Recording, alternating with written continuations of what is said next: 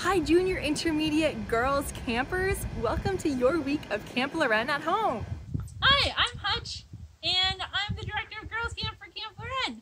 And my favorite things about camp are swimming and meeting new people and campers and all the old friends and crafts and Bible study and all of this stuff. So, really, everything's my favorite about camp. This is my dog Toby. And this year our theme is Under the Sea, and I'm really excited for you guys because we're gonna make some cool snacks, and we're gonna hear a Bible story, and um, I hope that we're gonna hear a little bit from some of our old leaders. So have a great summer, and we're really looking forward to see all the cool stuff that you do at virtual camp. Hi, I'm Hutch, and this is my dad, and he's from Grace United Church in Cobden. Today he's going to read us a story of Jonah and the whale. Jonah and the Whale, a story from the Bible.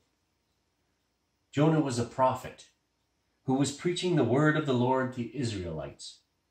One day, God called Jonah and told him to preach to Nineveh because the people were wicked and needed guidance there. Jonah hated this idea because Nineveh was one of Israel's greatest enemies, and Jonah wanted nothing to do with preaching to them. Jonah ran away from God and in the opposite direction of the city of Nineveh.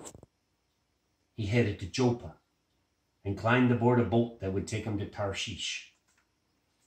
God saw Jonah on the ship and sent a great storm upon the seas. The men decided that Jonah was to blame, that he had brought upon the storm on them, so they threw him overboard. And as soon as they tossed Jonah in the water, the storm stopped. God sent a big whale to swallow Jonah and to save him from drowning. And while in the, in the belly of the big whale, Jonah prayed to God for help, repented, and praised God.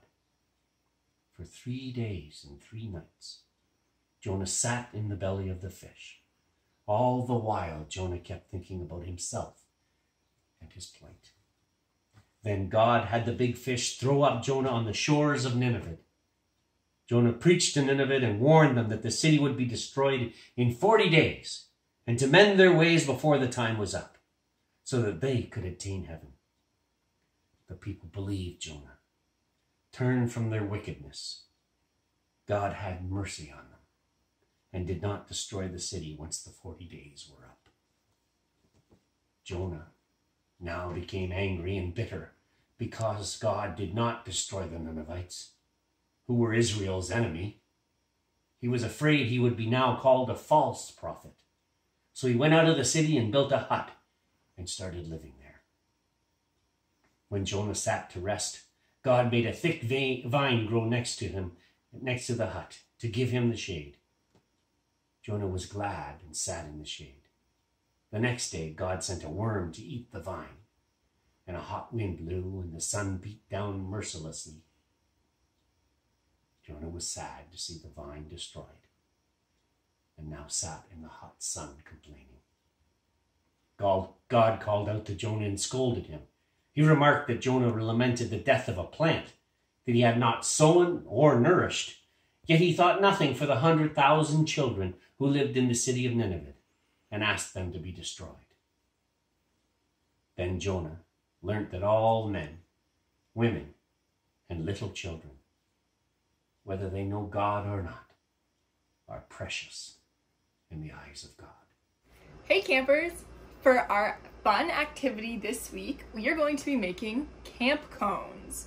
Now, you may be wondering what that is. Well, I'm here to tell you. So, camp cones are a fun dessert recipe that you can make whenever you feel like it or when you're having a campfire and it'll make your night super fun. So we need a couple ingredients for camp cones. The first thing that we need is a cone, as the name says. You can use any type of cone. I chose a sugar cone. Then you are also going to need some tin foil, some chocolate chips. I use the mini ones. Some marshmallows. I also use the mini ones so they fit a little bit better. And then you're gonna pick something else that you wanna add. This is kind of, the chocolate chips and the marshmallows are kind of your base but then you can add strawberries or blueberries or pieces of cookies or whatever you can think of, but I'm gonna use caramel. here are the steps on how to make your camp cone. So, first thing you're going to do is take out a piece of tin foil and lay it on the table.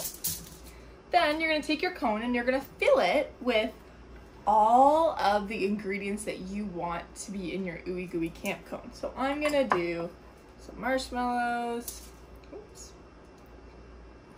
a couple chocolate chips, and shake them around because they're the mini ones, so maybe they'll go down.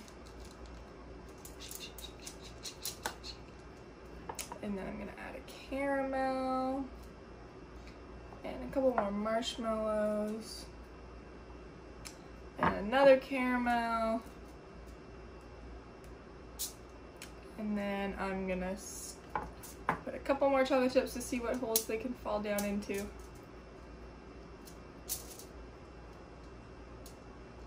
There we go. So, once your camp cone is all full, then you're going to carefully lay it down on your tin foil without letting all this stuff fly out. And then you're going to roll it up. First, let's close the end up so that we don't lose any of our good stuff that we just put in there. And then we're gonna close the other end so that we don't have any leakage.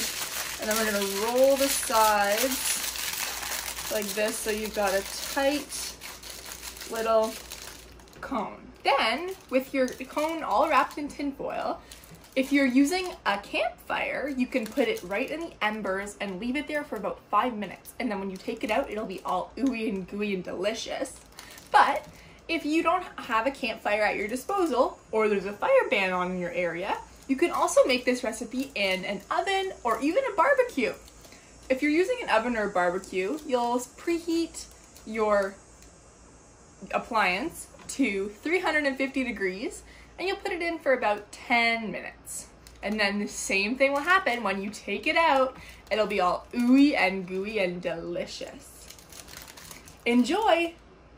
Remember that whenever you want to use a hot appliance, like an oven or a barbecue, or in our case, a campfire, make sure that there is a parent present and, and that they do all the putting in and taking out of the hot appliances because we don't want any campers to get burned.